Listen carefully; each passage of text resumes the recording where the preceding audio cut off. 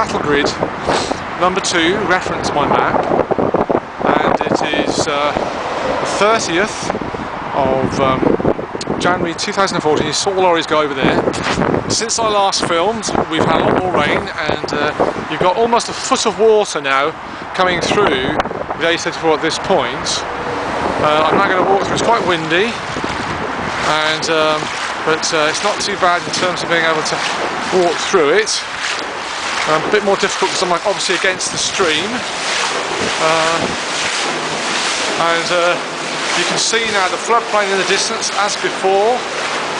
And uh, if you did put sluice gates across this entrance here now, you would be controlling the flow to an extent. You could put it either partially or all and there are three other ones like these uh, and it's all concrete on the ground all beautifully made. As we come out now through the trees that's King's Lock in the distance over there. So I'm coming out the other side now and I'm going to turn round and just give you a view. Looking back as long as I don't fall over in the current